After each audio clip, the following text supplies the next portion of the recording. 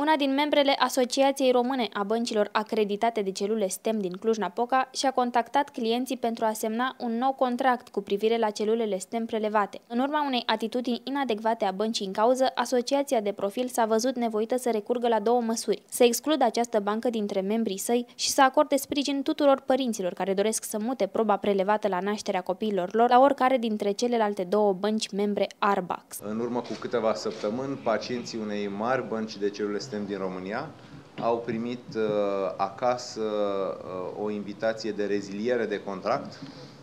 Uh, bănuim că este vorba de câteva zeci de mii de persoane. O parte dintre acestea au contactat Asociația Română a Băncilor Acreditate de Celule STEM pentru a înțelege mai bine ceea ce se întâmplă, de ce trebuie să rezilieze la sugestia unui prestator de servicii un contract iar uh, în al doilea rând, de ce ar trebui să semneze un nou contract care, mă rog, uh, celor care ne-au uh, interpelat nu le era clar. Acțiunile la care făcea referire, cele ale acelei bănci cu mulți clienți, nu sunt acțiuni legale. Sunt niște acțiuni comerciale în care se întâmplă în mod normal pe orice piață, iar clienții respectivei bănci trebuie să știe că au două opțiuni. Fie să continue în acel mod oarecum confuz comunicat de către compania respectivă, sau cea de-a doua opțiune, să poate să aleagă să-și mute probele la o altă bancă de încredere, eventual membru Arbax, care știm că respectă un anumit cod de etică și o anumită conduită în piață.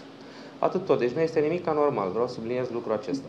Și clienții pot să stea liniștiți pentru că au opțiuni.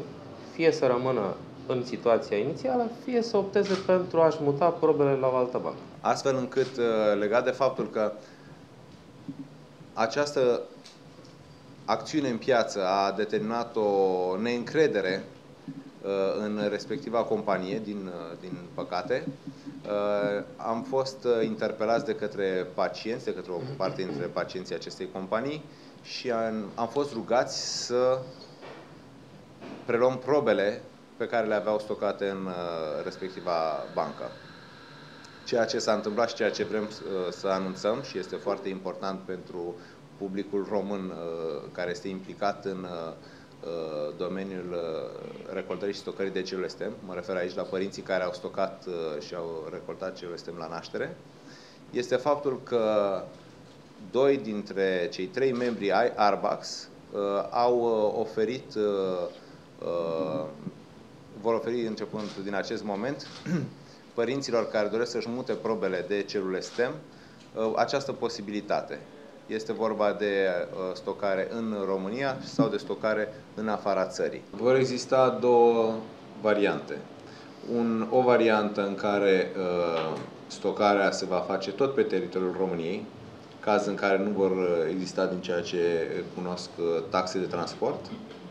Și a doua variantă, pentru pacienții care vor să-și mute proba în altă țară, cu siguranță va exista o, un, o taxă pentru transportul probei în străinătate. Regretând situația în care se află câteva mii de părinți, zeci de mii de părinți din România, dar nu pot să spun decât că există o parte bună foarte importantă în această situație.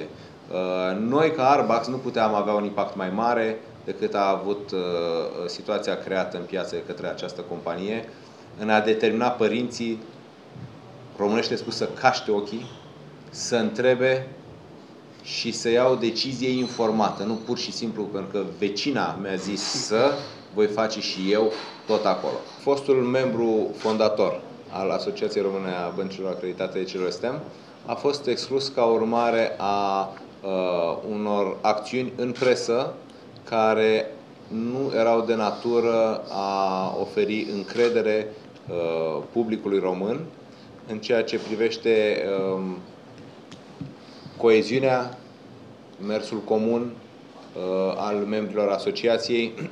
Mai simplu spus, a încălcat uh, unul dintre, de fapt, cel puțin două dintre paragrafele uh, actului constitutiv al asociației și care prin urmare au determinat aplicarea legii interne, regulamentului intern, așa cum este formulat și în actul constitutiv și în restul documentelor ce însoțesc existența asociației și prin urmare s-a votat pentru excluderea acestei companii din asociație. Chiar dacă România și Europa sunt departe de standardele din SUA de tratament cu celule STEM, în luna septembrie acestui an, una dintre băncile de profil membre Arbax a participat la tratarea primului său client român. Revin la cazul Anastasiei, un copil care uh, a avut nefericita ocazie să uh, sufere de o paralizie cerebrală datorită unui, uh, unei asfixii la, unei lipse de oxigen, mai exact, la naștere și e o afecțiune neurologică care necesită un altfel de abordare,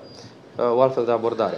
După ce a experimentat mai multe căi terapeutice în România, a fost sfătuită de medicul neurolog de aici să încerce terapia cu celule STEM. Și uh, am reușit să o ajutăm să intre într-un astfel de program în Polonia. Și ce pot să vă spun este că uh, după ce a avut loc această intervenție cu celule STEM mezenchimale. A doua zi, uh, fetița a spus mama, când niciodată n-a vorbit. Bineînțeles că nu se oprește aici. Acest gen de terapie mai necesită încă cel puțin două astfel de infuzii la circa șase luni distanță și sperăm la niște îmbunătățiri considerabile alături de familie.